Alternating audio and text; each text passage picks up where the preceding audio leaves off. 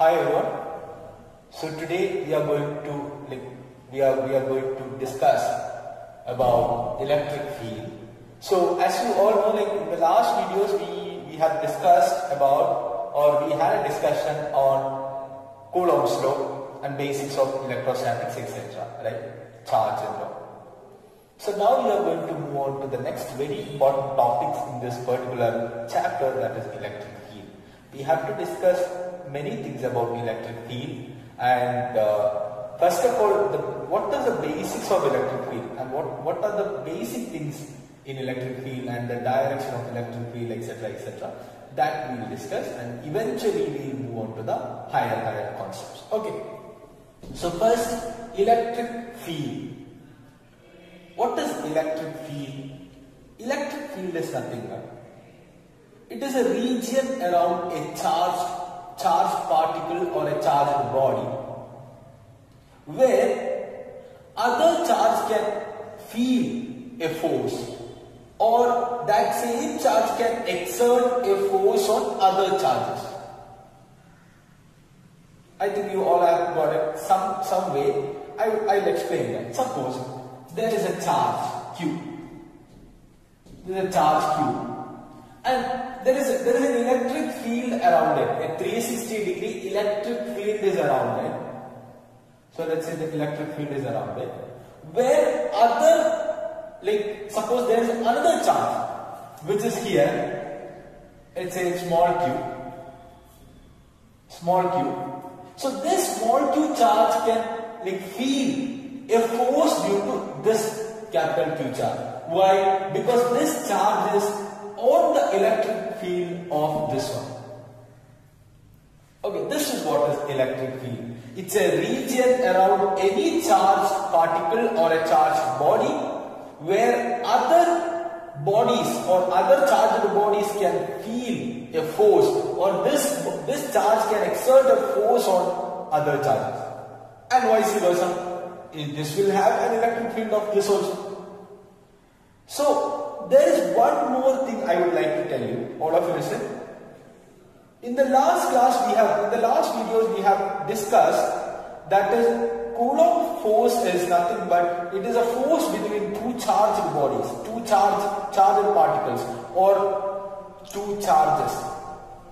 But it is not exactly like that we can we can the electric field theory says that we can we can just improve the concept of Coulomb's Coulomb's law that is there is a force of interaction there is a force of attraction or repulsion between two electric fields two electric fields.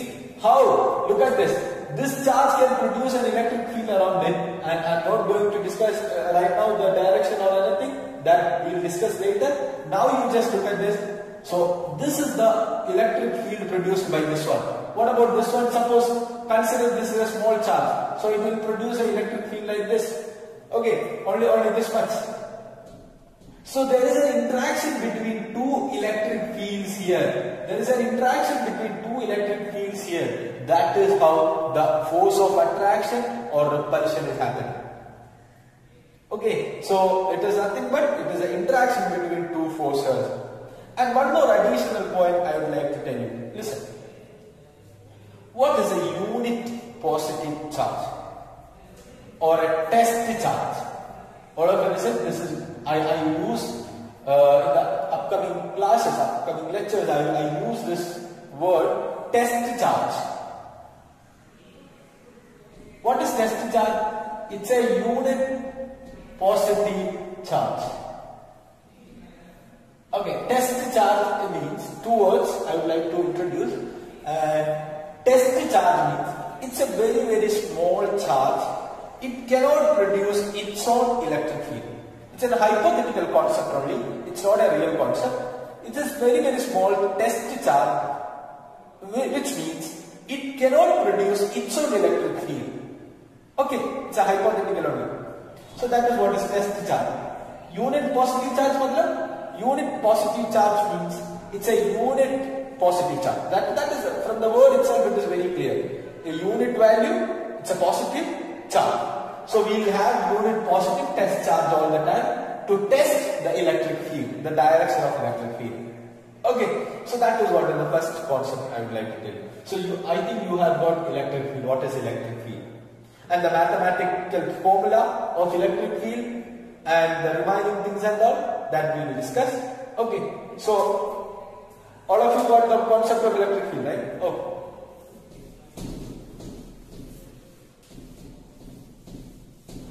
Now,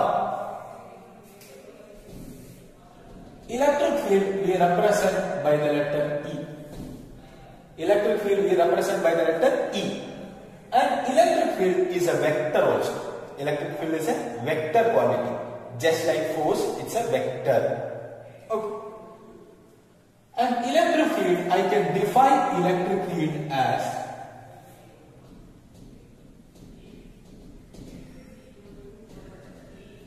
electrostatic force per unit charge. Okay, or per charge, that would be better. An electrostatic force per charge, that is what is electric field. Okay, or I can I can say that force per unit charge, or I can say that it will be force per unit charge. So I can add unit charge here as well. Unit charge here as well. It's not, not a problem. Because when you when you do the problems, you should not get confused. That's what I, I thought. Okay. So electric field is nothing but force per unit charge. Electrostatic force per unit charge. This is what is electric field. Okay. Obviously, this is just the definition only and another way of definition. And one more thing I would like to tell you. The same idea we have used in where? Gravitation. The same idea we will use in magnetism. It's a coming chapter. So look at this. In gravitation, I would like to explain it here. I'd like to explain here. In gravitation, we have studied F is equal to G M1 M2 by R square. And what is a uh, field? What is a field? Field is nothing but G.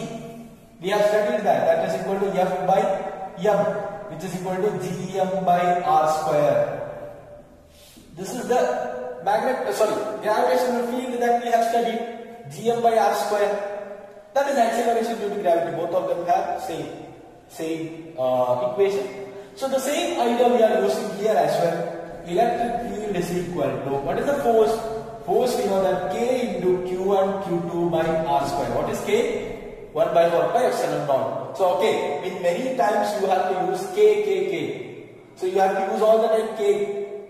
So that's why it's like this. So electric field I can write it as so divided by Q1 or Q, whatever it is, Q1 or Q2. So this will be Q, K, Q divided by R square or which is equal to 1 by 4 pi epsilon naught Q by R square. So this is what is the equation of electric field. So this is vector. So obviously there will be a vector side here that the direction of electric field that I will discuss later. Okay. So first of all you have to know what is the equation of electric field. How, how we can represent electric field. So that is what we have seen here. So what is electric field? Electrostatic force per unit charge. Okay. And uh, this is what is electric field and just look at this. What is the unit of electric field? The unit of electric field. The unit. Unit of electric field is nothing but force per charge. Newton per coulomb. Newton per coulomb. That is what is unit. And what about the dimensional formula of electric field? Dimensional formula of electric field. Force per charge. No? And also one more unit is there for electric field. One more unit is there. So that I will discuss later. Okay. Or I can I can say that we have the formula ED is equal to PD that I will teach you later. So from that I can write it as volt per meter. Another unit of electric field is volt per meter. You, you just look at the unit only. Volt means voltage, potential difference. That we will discuss later. So Newton per coulomb and volt per meter. Okay. And then, what is the dimensional formula of electric field? From here it is very clear Newton. Newton means force. M L T raised to minus 2. All of you, all of you, look at this. Newton per coulomb. And per coulomb is divided by AT. I told you in the last first class that what is the unit of charge? Charge, charge unit AT. Or uh, dimension is AT. Okay, sorry, not unit, dimension. Okay. So again, I can write it as M L T raised to minus 3, A raised to minus 1. This is what is the dimensional formula of electric field. Okay. And now this is what is electric field and the properties of electric field Uh, and electric lines of force, the direction of electric field we will discuss. So now we are going to discuss about the direction of electric field. So before that let me let me conclude it. E is equal to electric field is equal to F by Q force upon charge. So which is equal to 1 by 4 pi epsilon naught Q by R square into R cap. This is what is R cap. Okay. So that is the direction of electric field. So uh, I, would like to give you only what is the direction of electric field with respect to positive and negative charges and in detail the electric field lines, the concept of electric field lines we will discuss later. Okay, we will discuss in a separate video that is electric field lines. So now you just look at this electric field is equal to F by Q and I can say that positive charge it has an electric field which is radially outward, radially outward in this direction. What about negative charge? In the case of negative charge, it is radially inwards. It is coming towards the negative charge. So that is the direction of electric field. So if there are two charges, one positive and one negative, you can say that from positive to negative. That you can say, but if there is only one charge, suppose there is only one positive charge, it will be radially outward. So what about one negative charge? It will be radially inwards. Okay, that is the direction of electric field. And now I am going to uh, explain a simple concept that is, suppose, all of you listen, I need your attention. So look at this. Suppose there is a charge Q. There is a charge Q and where in this charge, let's say uh, this will produce an electric field of E. Okay, so there is like it will produce an electric field of electric field. The strength is E. Field strength. Okay, it's a physical quantity, right? So suppose I am going to place another charge, small q, small q here. So what is the force acting on this small q due to this capital Q? That is my question. Again, I would like to repeat the question. There is a charge capital Q and obviously as we have said earlier, there will be a electric field around, there will be an electric field, there will be an electric field around this charge capital Q. And suppose we are going to place a charge of small q here, then what will be the force acting on this charge due to this electric field? That is equal to, we all know that force is equal to, or if it's a force is equal to 1 by 4 pi epsilon 0 q, here two charges q and q q q by r square. Right? Suppose the distance between them is r square. And let me ask you another question. Here 1 by 4 pi epsilon 0 q by r square is what? Electric field. So it will be E into Q. That is F. So what is my point? Same here only. F is equal to QE. So I, I always say I always say that F is equal to QE. F is equal to QE.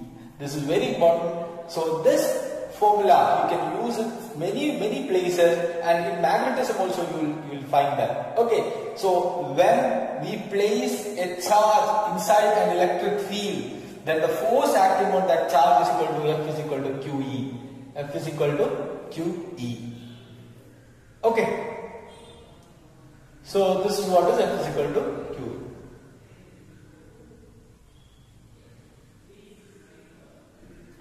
And also, one more thing we will say that this this uh, that is not uh, our syllabus. Like I mean, we will discuss that later in other chapters. But anyways, I would like to tell you, this is we also call it as electric Lorentz force. We also call it as electric Lorentz force. So I will I will ask you the same question when we discuss magnetism. What is magnetic Lorentz force? How do we co connect magnetic Lorentz force and electric Lorentz force. So this is what is electric Lorentz force. Okay.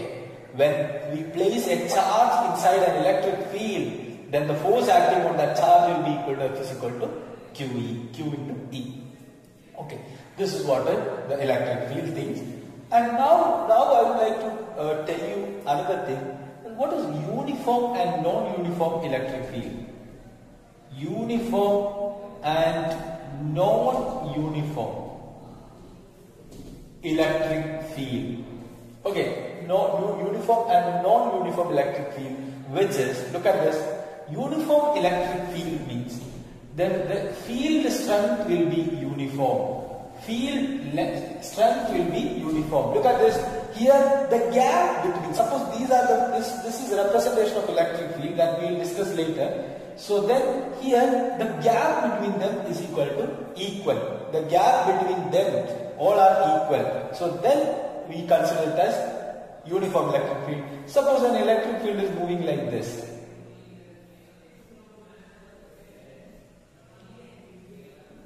Okay, so it can be like this also, but this is not uniform. This is non-uniform. So if the field strength at every point are equal, then we can call it as uniform. Otherwise, we call it as non-uniform electric field.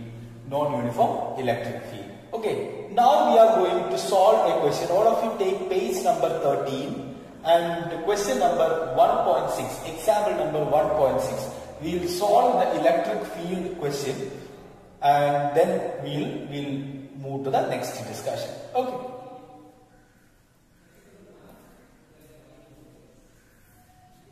So now we are going to solve the questions on electric field. So as we have seen, like electric field equation is very simple.